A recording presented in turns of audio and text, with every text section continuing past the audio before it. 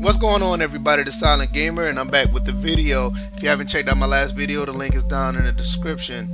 But today we're going to talk about Madden NFL 18 and what you see on the screen here.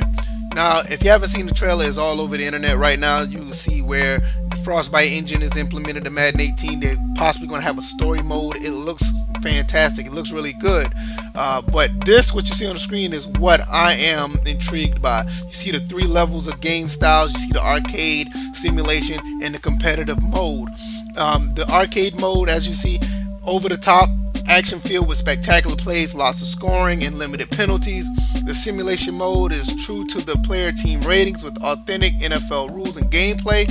In competitive mode, where user stick skills are king, and our head to head online, uh, ranked online, and tournament default. So these three modes are great because for me it seems like everything could be spaced out for all gamers. Like for me, I always thought that Madden was driven by MUT, well, Madden Ultimate Team, and no matter what mode you played on, it revolved around Madden Ultimate Team.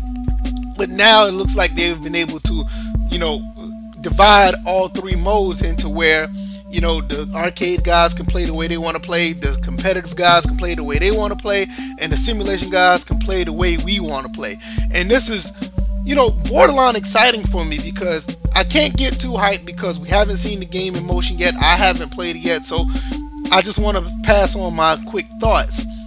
This is what's needed. No joke.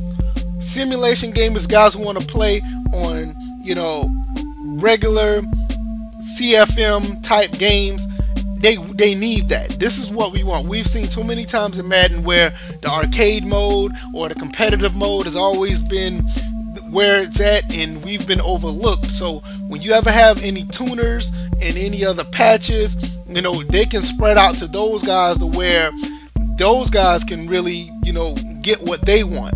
The simulation guys, we just want core gameplay and we want the players that we choose or the team that we choose to play on the field play like their counterparts. And the only thing that we want to be able to do is adjust the game plans and run the plays. excuse me, I'm sorry um, run the plays accordingly and let the best players win. Now, yes, there's going to be some skill, there's going to be some thinking behind it when we do run our plays. You don't want to run the wrong play no matter what kind of personnel you got. You run the wrong play, you're just going to get, you know, get handled for it. It is what it is. But at the same time, you want your players to play like how they're designed in real life. I mean, it looks good. It, I mean, it, the game, in my opinion, it looks too good for it not to play that way. The players look too nice for it to play like that. The player movement is still shaky or whatever from what we've seen in 17. We haven't seen enough in 18, but from based on the way the, the quality of the visuals of that game, it should not play all crazy like unless you play on these other modes. So it's just my quick thoughts about it. I, I'm really hoping that they deliver on this because I'm quite honest, I'm having a blast with 17. I enjoyed it.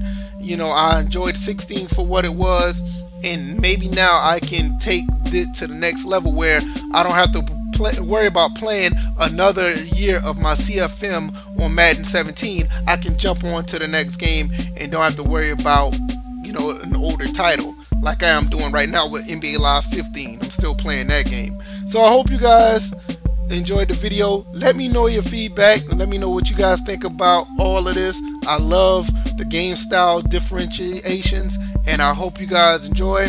Take care.